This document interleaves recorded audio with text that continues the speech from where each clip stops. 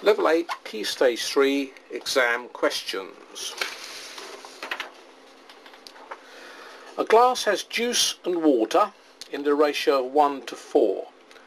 Let's just make a note that to start with. So it's juice to water is 1 to 4. Now that means to say one part of it is juice and four parts of it is water.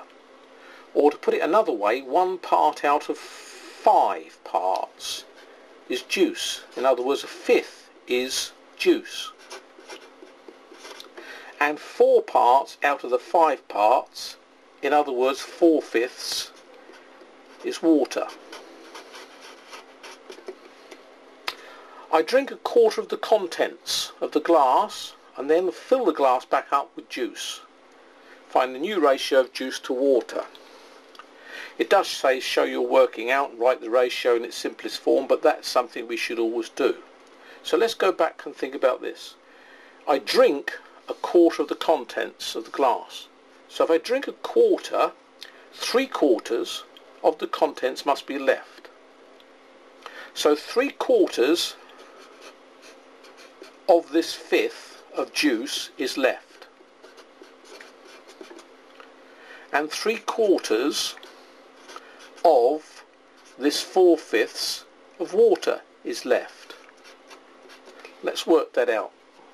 Of actually means multiply, and if you're going to do three quarters times a fifth, you multiply the three times the one, and four times the five. So there's three twentieths of the original juice is left.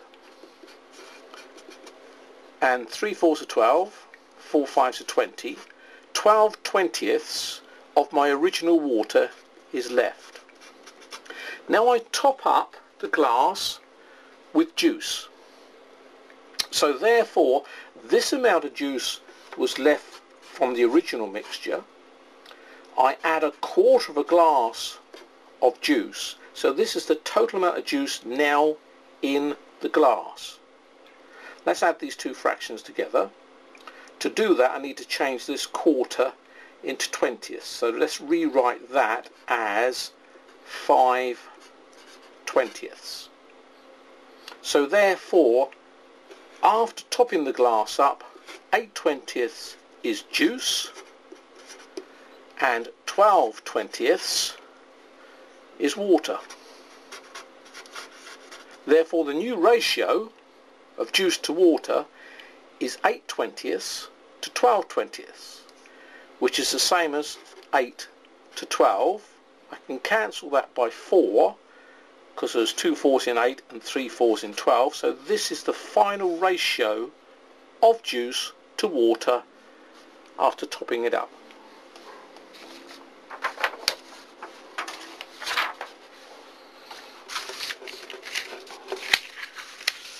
Find the area of this shape in terms of x and y. Now this is what we call a composite shape because it's made up of several other shapes.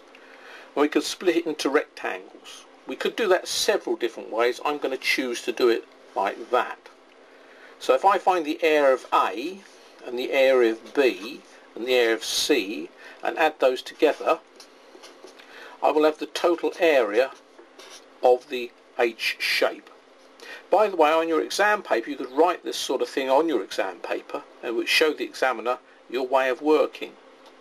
Okay, the area of A is this times this, in other words 6x times 2x, which is 12x squared. The area of this is 3x times this distance, which we know is y, so that will work out the area of B, and the area of this is also 6x times 2x so that gives the area of that part. So the total area which is in fact what we're after is that 12x squared added to that 12x squared plus the area of the part in the middle. So there's your answer. We have it in terms of x and y. Now let's look at this solid, this prism. which actually is exactly the same as what I've just done.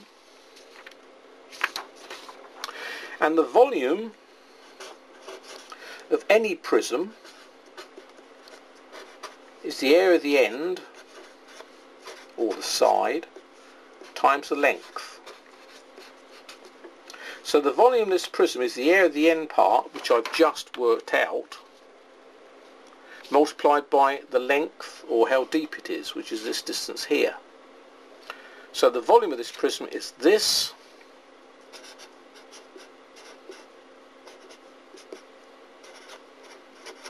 multiplied by the depth.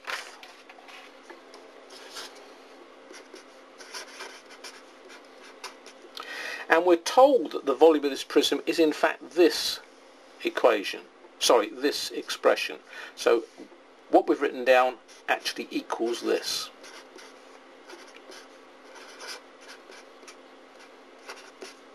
Find the depth. Well, in other words, I need to rearrange this and make depth the subject. So depth is going to equal this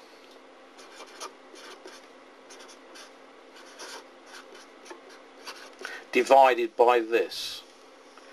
But before I think about that, let's think about factorising this.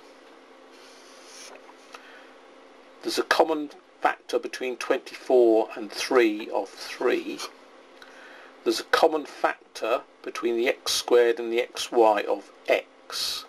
So I can factorise it and leave myself with 8x there. 3x times 8x is 24x squared. And leave myself with just y there. Because now I can cancel. I can cancel that 3 with that 3. That bracket of 8x plus y with that 8x plus y and I'm left with x squared over x and that itself cancels to just x. And I'm not sure how you feel about that. If you're not sure, spin it back and have another little listen.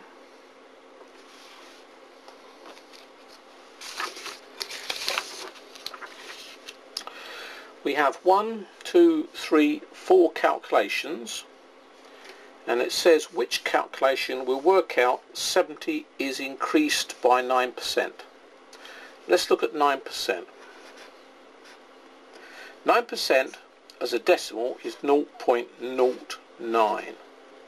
So if we multiply anything by 0.09 we will be working out 9%.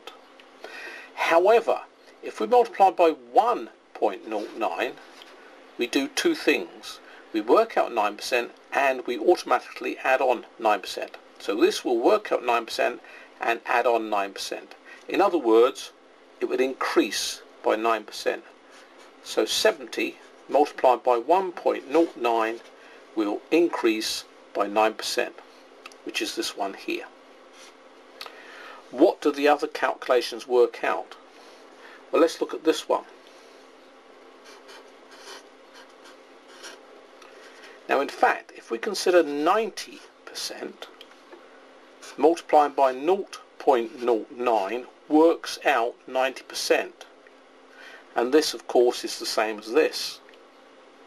So this works out 90% of 70. This one here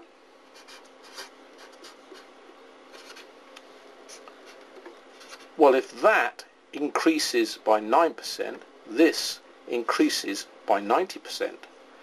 So 70 increased by 90%. And this one, I've already mentioned in my chatting up there, works out 9%.